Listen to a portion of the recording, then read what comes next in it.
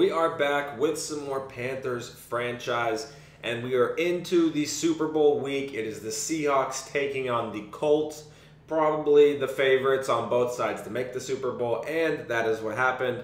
Both of them made the Super Bowl. It hasn't been played yet. We'll go over the Super Bowl when we get into our final re-sign stage. But this video is just going to be talking about the rest of the playoffs leading up to the Super Bowl and, you know, the awards, the stats, getting into how our team did on the season and all that fun stuff. Before I forget, we did have two people that made the Pro Bowl. We had um, outside linebacker Brian Burns. He was the first starting outside linebacker on the Pro Bowl roster, which is things you love to see.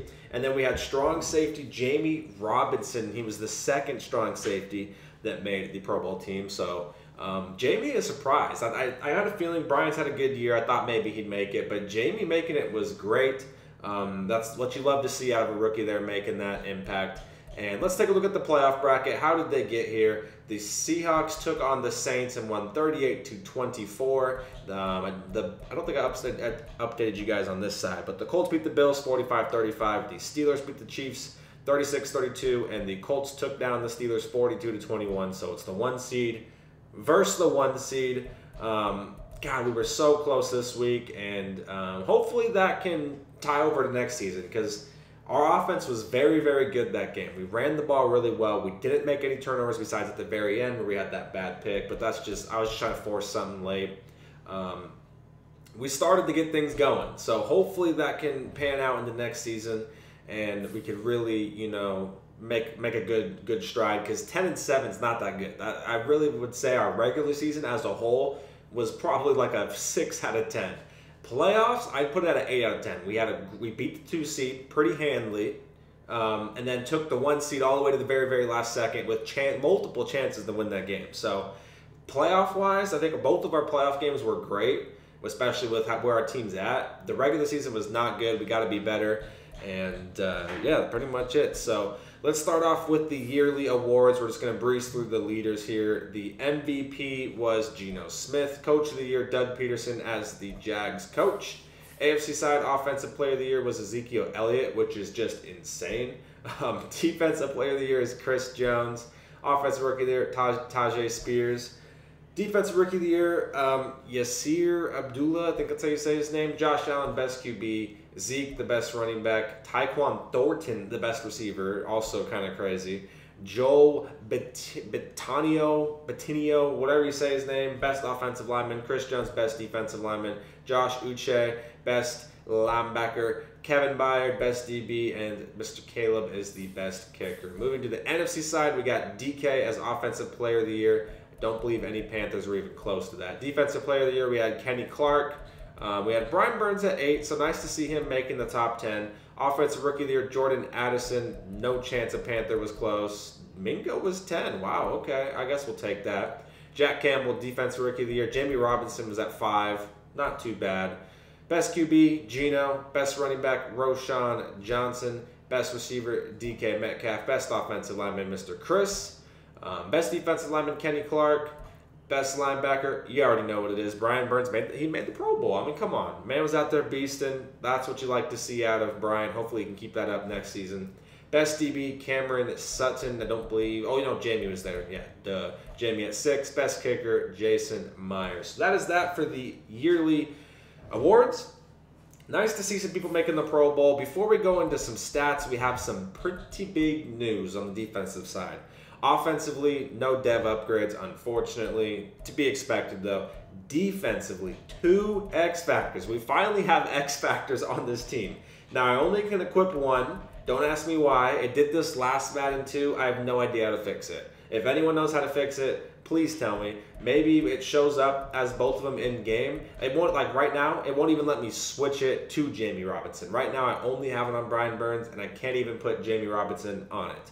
Um, which is just stupid. But maybe it will show up in game. I have no idea. I don't know why it does that. Jammie got universal coverage. The most physical coverage defenders prevent catches from happening when their target has ends on the ball. When they enter the zone, they are nearly guaranteed knockouts. I do like that ability. Um, Brian Burns' X Factor is terrible. It's absolutely terrible. And it's to a point where um, we get tokens in the league. They're like fake currency that we can use to upgrade players and certain attributes and stuff And I have a ton of them because you get those by making content for the league. Obviously, I stream my games and post YouTube videos. So I will most likely be re-rolling this X Factor ability because it's terrible. It's selfless. So he makes everyone else in the zone, which is not what we want. I want some spectacular. So I'm most likely using tokens. Matter of fact, when I'm done recording this video, I might even submit it right away because I can't have that be my my X Factor ability. We got to get something a little bit more useful there. Um, so that's that. At least we have an X Factor now. We didn't have one all all season long, so it's nice to have one. And um, before we look at our team stats, we're just gonna breeze through league leaders and all the categories, and then we'll you know break down our team and how we did. So we'll start off with passing yards leader Kenny Pickett, 5,160. The touchdown leader was Geno Smith with 48. The pick leader was a tie between Desmond Ridder and Baker. Desmond threw 40 picks and won 12 games. So that's pretty crazy there. And, you know, was a third seed, I think, in the playoffs. So pretty, pretty good. That's just, just pretty crazy there. Roschon Johnson had 1,800 yards on 300 attempts. I mean, the man was just pounding it away. Um, DK obviously led in yards, 1,800. Reception leader, JSN, 101. I mean, those two are just insane. 23 touchdowns for DK is also insane. Um, most sacks allowed, Mr. Quinn with 14 sacks. That is not what you want to see there. Our solo tackle leader is Jack Campbell. Also, oh, never mind, Troy Anderson tied with Roquan Smith for the assisted tackle, but total tackles is Jack Campbell with 176. The tackle for loss leader is 56 with Jonathan Allen. Our sack leader is a two way tie between Chris Jones and Daron Payne. The interception leader is a, what is this, a six way tie? Kevin Byard, Quandre, Darius Slay, Jessie Bates, Cameron Sutton, and Micah Hyde. Dang. Forced fumble leader, we got a bunch of four down here. How many touchdowns we got? We got any safeties? A couple safeties out there. Oh, yeah, Brian. Things you love to see. Jaquan Brisker. Um, probably a shitload of touchdowns. Oh, yeah. All over the place. Kicking, um, Matt Gay was banging everything, missed one extra point, one field goal. That man does not make mistakes. Um, punting is, you know, it's, it's punting. kick returns, look at all these, dude. So many kick returns, and we were useless on kick returns. We were completely useless. Um, punt returns, there was quite a bit. Two from Jamal Agnew, one from Turpin, one from Byron Pringle. Don't I this this punt return does it, it shouldn't even count. I think I broke like three tackles. It was kind of crazy, but um, Damiere Byrd did do that for us, which was uh, something there. But that is that for the league leaders, and we're gonna break down our team and then probably wrap up the video there after we. Oops, I just completely scrolled by the Panthers. Um, like I said, we had an okay season. Regular season was not really what I hoped. But the playoffs, we ended strong. So I'm just really hoping that can, you know, the way we played in the playoffs, if we can just carry that over to next season, add some pieces, I think we could still be in a really, really good spot. Um, Bryce Young's rookie year was very, very hot and cold. 3,254 passing yards, not that much, very, very low. Um, 65% completion is, you know, it's okay. It's not nothing bad. This is where it was bad. 26 picks, not good. Only 19 passing touchdowns. Negative seven, man. I mean, seven more picks more than turnover or touchdowns is not going to get it done. It's really not going to get it done. We got to be better there. Uh, the you know the yards per game were just it's just the passing just wasn't there. It was too hot and cold. There was games where we were doing very good, and there was games we were doing absolutely terrible we like I said, we got better as the season went on. Especially late in the season, we got better. Um, but it just was not the rookie season we needed. So hopefully, I can get him some more weapons. That's kind of the plan. I'm gonna try really hard this offseason to just acquire offensive talent. I think our defense obviously needs some work. Defensive line needs some help. I'm most likely letting Frankie Luvu walk because he wants a bunch of money and he didn't even play that much. He was hurt all the time. And when he did play, he didn't really do much for me. So I'm not going to pay him. I already had to pay massive money for Brian Burns. And, you know, the corners are good. The safeties are good for us. Our linebackers are all right. Mainly the defensive line is where we got to add some people. We got Derrick Brown, but that's about it. Um, offense needs help in a lot of spots, so I think I'm going to mainly try to focus on the offense in the offseason. Obviously, we'll see what comes our way. You know, for kind of free agents are there and stuff, but not the best rookie year. As far as running backs, Miles Sanders he had an okay year. It wasn't bad. wasn't like amazing. wasn't bad. It was just kind of middle of the pack. 249 attempts, 1,200 yards, and six touchdowns. I think he, I think he did pretty good. He's obviously going to be our starting running back for seasons to come because of the contract they gave him. I really had no option unless I decide to trade him, but I don't think I'll be able to do that. So he's kind of here. I mean, he's still good overall. He's at 91 at the morale boost. He's got he's got good stats. He he he makes plays. So he's gonna stay. He's gonna stay. It sucks he got hurt, but you know injuries happen. Chuba, he was insane in the playoffs. He was absolutely insane. And Chuba was a very good back for us. I will not even lie. Chuba was pretty pretty solid for us 119 carries 595 yards averaged five a carry also got six touchdowns and zero fumbles i mean chuba had a great year i believe his contract's up at the end of next season so we'll see how he plays next year but he had a great year not only on the ground but receiving as well i mean the man made tons of plays out of the backfield for us as a, as a receiving back bryce young this, the fumbles is clear seven too much it's too much you add down to the picks man it's not good it's too many turnovers. It's got to be better. Like I said, it got better towards the end, but it's still too much. Excuse me. It is still just just way too much. A um, couple rushes, from some end arounds, and some RPOs that turned into rushes. Not much, you know, going on. Blackshear fumbled twice. I don't really remember him fumbling twice, but uh, okay. I guess he's fumbled twice. I don't remember that. As far as the backs, though, we did good. I mean, nothing like insane, but they were solid, very, very solid. Bryce just got to stop fumbling. The receiving one, um, it's it's Mingo. It's kind of DJ Chark's numbers actually surprised me. I won't lie. He had about 30 catches less than Mingo and only 100 yards less. So kind of interesting there. No 1,000 yard receiver. Mingo did not have the explosive, massive rookie year that I would hoped, but it also wasn't bad. Maybe he's our guy going forward after another season. Maybe we can develop him, but he still needs work. He drops some passes. He kind of disappears, like the Seahawks game. He disappeared. He, he didn't, even catch a pass. I don't even know if I threw him the ball in the Seahawks game. So he just kind of tends to disappear. Then has big games. So I, we got to add to the receiving group clearly because we need some help over here. But Mingo had an okay rookie year 64, 807, and 7. That's okay. DJ Chark was just our big explosive guy. Like I said, the receptions were not there, but big play 706 yards and two touchdowns. Hayden Hurst was okay 38 for 564 and 6. Um, Thielen, about what I thought, just an old vet, just an old guy. 36 for 472 and 1. I would love to get rid of him. I wonder what his. I'm curious to see what his contract situation is in the offseason, if I can cut him. I know of two years left, so I don't know what the cap hit will be, if I'm even going to save money cutting him or not. We'll have to see what that looks like. I'm I'm ready to get past these these old guys. Like Hayden, oh, he's okay, but I just they're just old, man. I'm trying. I got to get younger. Hayden's actually not. What is he? 29 or something? 30. You know, he can hang around. Thielen, what are you? How old is this man? 33. He seems like he's 37, man. He's, he's just old. He's just old. Miles and Chuba, very similar stats receiving 37 catches for Miles, 36 for Chuba, 388 for Miles, 347 for Chuba, and three receiving touchdowns with two for Chuba. Both were very, very quality out of the backfield. Ian Thomas, he was just there from time to time making some plays. Laviska, same thing, just making a play here or there.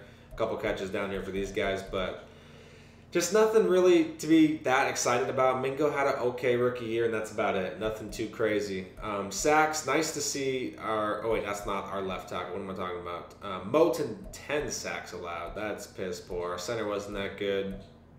Um, you know, it'd be what it be. It'd be what it be. Shaq Thompson was everywhere. 157 tackles. The man was flying around making plays left and right massive season for him. He did great. Eight tackles for loss, five picks. I mean, I think he even had a touchdown as well. This dude's the leader up the linebacker core, and he's a monster. He's here. I mean, how, how old is Shaq? He's like 28 or something, right?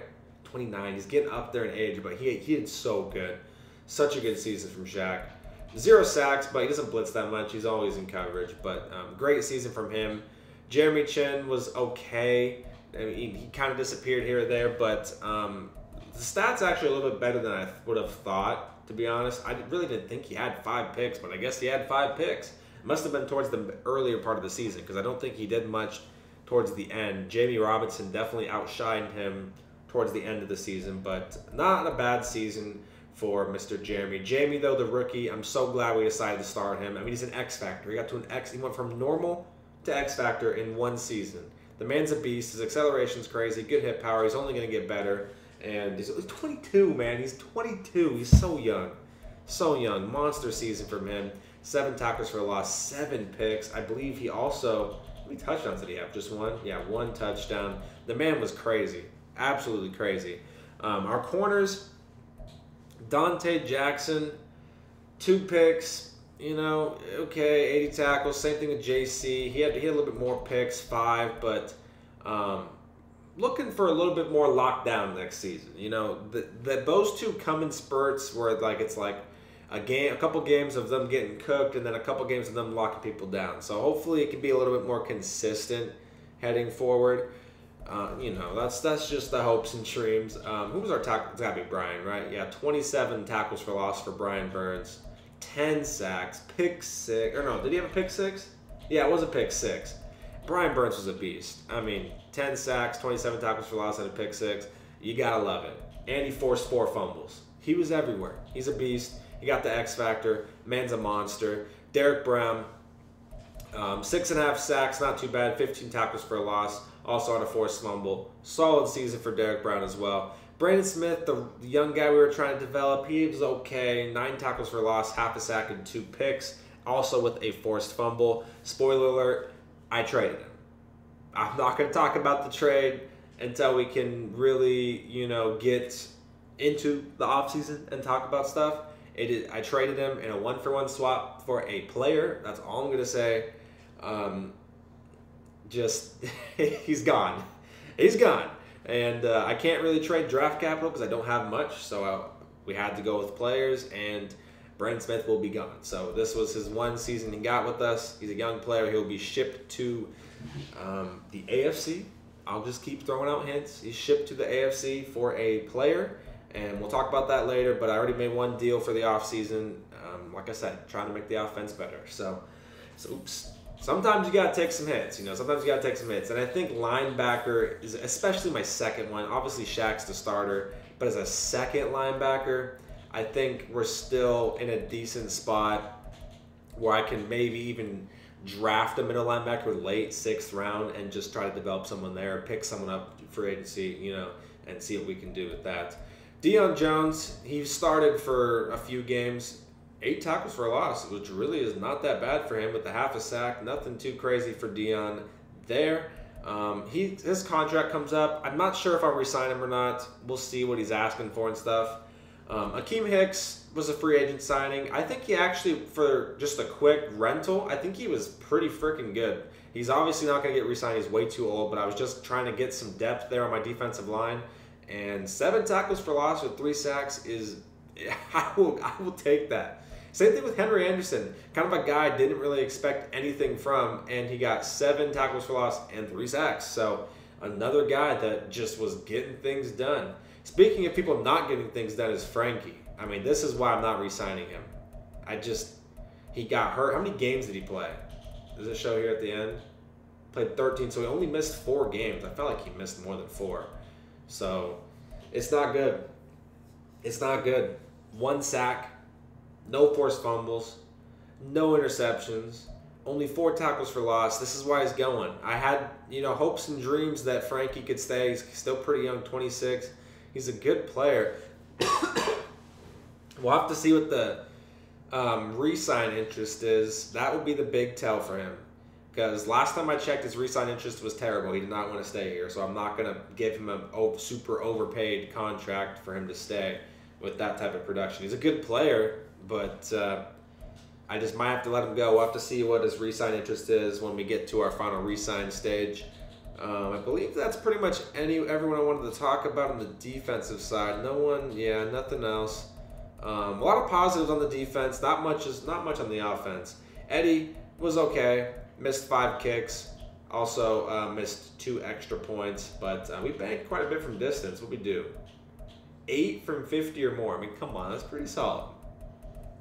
I'll gladly take that. I will gladly take that. Johnny, um, you know, punter, punters are punters. Kick returns were terrible. Our longest was a 38. It was not good. We, we were non-existent on kick returns.